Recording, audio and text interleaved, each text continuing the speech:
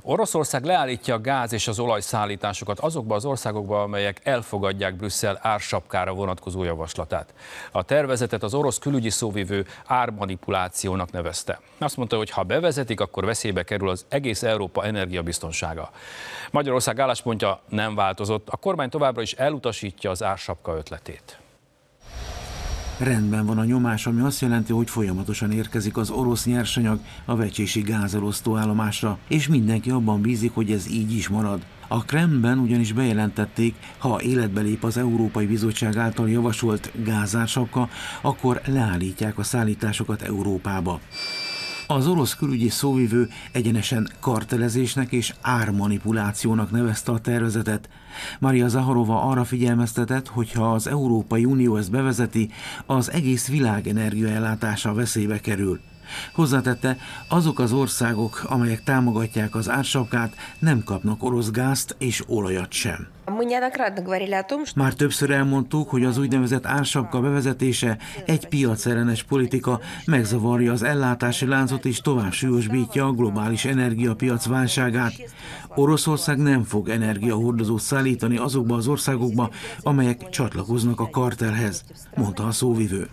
Csütörtökön Brüsszelben az energiaügyekért felelős miniszterek találkozóján is szóba került az árak maximalizálására vonatkozó javaslat. Súlyos ellátás biztonsági kockázatokat eh, tud okozni. Ezt mondta a külgazdasági és külügyminiszter az esemény után az ársapkáról.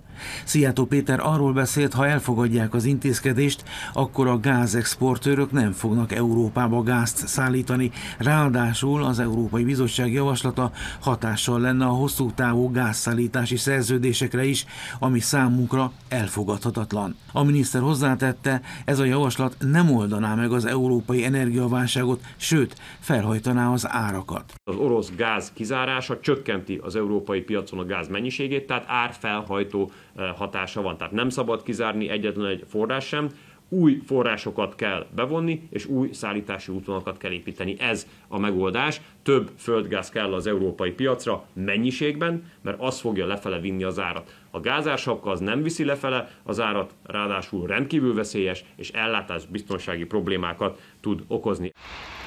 Ugyanezt lehet elmondani az olajjal kapcsolatban is.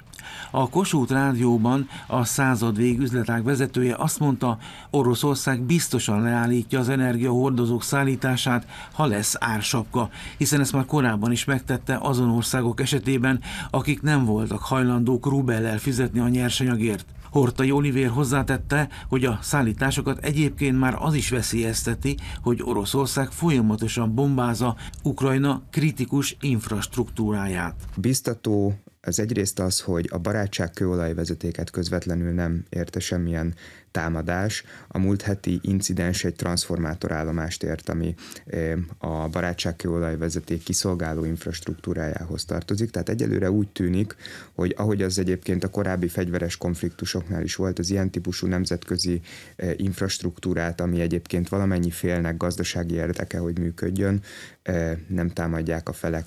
Az, hogy a sérült transformátor állomást egy napon belül kiavították, jól jelzi, Ukrajnának is elemi érdekében áll a vezetékrendszer működése. Magyarország egyébként elutasítja az ársapkás megoldást, mindenképpen mentességet kér ez alól.